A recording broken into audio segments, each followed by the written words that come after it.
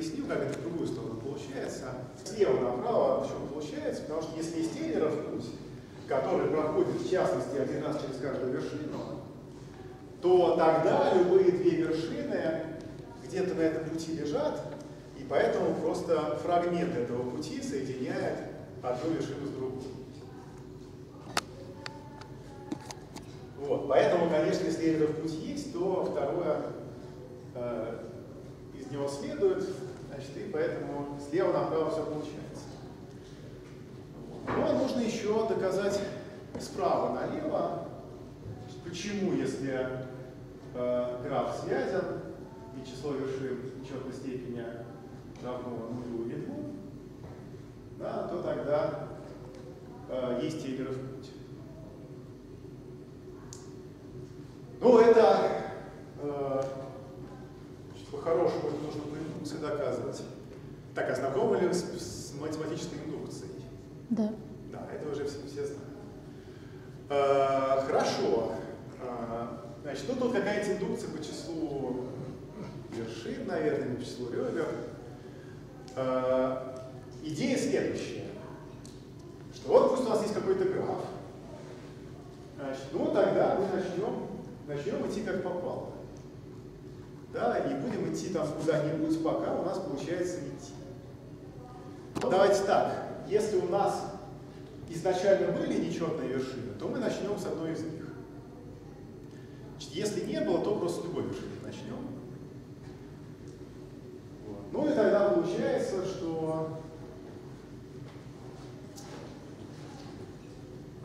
Так, давайте я какую-нибудь кар картинку покажу.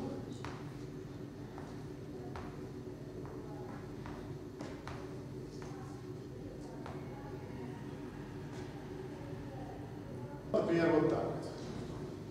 А, дальше тут еще что-нибудь добавим. Вот какая-то такая картина. Значит, на этой картине есть две нечетных вершины. Вот это вот и вот это. Ну и дальше начнем, например, вот из этой вершины и будем идти куда-нибудь. Ну, например, пойдем вот сюда. Дальше куда-нибудь еще пойдем. Ну, например, вот сюда. Дальше еще куда-нибудь. Например, вот сюда. Потом еще куда-нибудь, например, вот сюда. Вот. Значит, здесь уже вариантов нету. Можно только вот сюда идти. Значит, дальше мы пойдем вот сюда, вот, вот сюда, вот, вот сюда. Вот. Ну и получилось, что все, мы куда-то пришли, дальше вариантов нету, а мы еще не все обошли. Да? Значит, пока у нас не получилось. А, но с другой стороны, что-то же мы прошли. Да, если там вообще ребер не было, то тогда понятно, если одна вершина, то все нормально, если больше вершин, то ничего нету. Да, и ребер пути нет, и связанности нет. Но получилось, что э, вот в этих нечетных вершинах у них изначально была нечетная степень, и мы нечетное число ребер у них заняли. Да, то есть тут, в принципе, могла быть какая-нибудь еще такая в которую мы не пошли, да, пошли сюда, и ее заняли.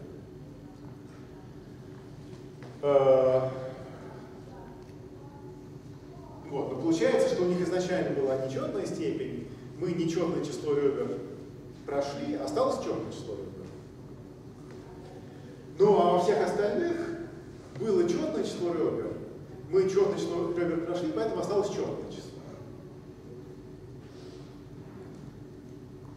Что же получается? Получается, что в том, что осталось, у всех вершин степень четная. Да? Значит, было две нечетных, мы из них нечетные вычли. Они стали четными. Остальные были четные, вышли четные, тоже остались четными. Значит, все вершины остались четными. Но, возможно, потерялась связность, как вот здесь вот нарисовано. Да, э, добавления вот этой штуки, да, после такого прохода связность исчезла. Да, остался один вот такой кусок и еще вот такой вот кусок. Вот. Ну, а дальше там ну, довольно легко понять, что даже если граф не связан, то он распадается на связанные компоненты. Да, то есть что значит начать распадаться? Значит, он состоит из нескольких которые все отдельно друг от друга и сами по себе связаны. В частности, то, что вот здесь вот не пройдено, разбивается на две компоненты. Вот это вот треугольничек дорисован в какой-то момент. И вот это вот. Да, вот это вот все. Э, это, соответственно, тоже связанные компоненты. И вот к этим связанным компонентам уже применяется предположение индукции. Потому что, во-первых, в них меньше ребер, ну и на самом деле в них тоже меньше, потому что хотя бы одна вершина должна исчезнуть, потому что там из какой-то вершины мы уже никуда не можем идти. Э, с них меньше ребер, у них все вершины четные, э, и они сами по себе связаны. Да? Потому что каждая связанная компонента связана по определению. Поэтому можно считать, что для них эта теорема уже доказана. И на самом деле, как часто бывает в рассуждении по индукции, удобнее доказывать некоторые более сильные утверждения, а именно здесь следующее, что если есть две вершины четной степени, то тогда есть Эйлеров путь, который в одной из них начинается, в другой заканчивается. А если ноль вершин нечетной степени, то есть Эйлеров цикл. Да, то есть путь, который приходит в ту же точку, откуда начал. И если вот это более сильное предположение применить, то получается, что вот этот вот треугольничек можно обойти Эйлеровым циклом. Э, и вот эту вот всю штуку тоже можно обойти Эйлеровым циклом.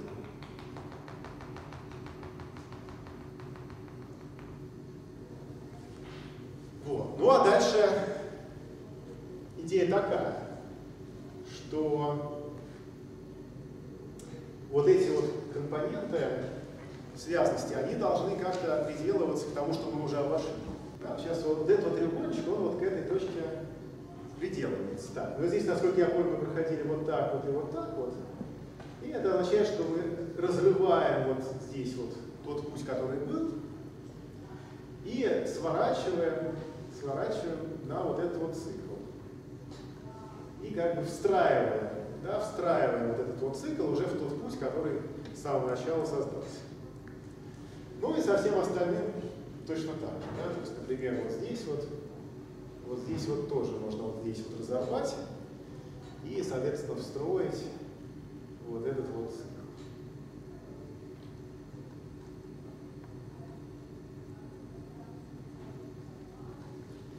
Вот, ну и вот это вот конструкция, она на самом деле не только доказывает теорему, но и дает алгоритм поиска. Есть это некоторая конкретная процедура, конкретная инструкция, каким образом по графу, э, у которого число вершин равно или двум, и который связан, найти Эйлеров путь или цикл. Есть такая книжка Радемахер Теплиц «Числа и фигуры». Ага. Очень давно написанная. Э, так вот, э, первая ее главка посвящена вот ровно этому. Но рассказано это там э, чуть-чуть по-другому. Просто мне это в свое время понравилось. Можно одну минуту? Хорошо. Значит, там говорят следующее. Возьмем любой граф, удовлетворяющий вот условиям этой самой теоремы. То есть нечетных вершин не больше, чем две, и он связан. И в начале все его ребра объявим путями длины 1. Ну, то есть разобьем граф на его отдельные ребра. И после этого, если у нас есть два пути, у которых общая концевая точка, то их склеиваем в один путь. Э, при этом, в принципе, разрешено склеивать так, чтобы получились циклы. И если у нас есть два цикла, э, которые имеют э, хотя бы одну общую вершину, да. то их склеиваем в один цикл. А. Вот если секунду подумать, то становится ясно, что эта процедура, в каком бы порядке вы ее не, не проводили, завершится тем, что получится то, что нам нужно. Ну, в общем, да.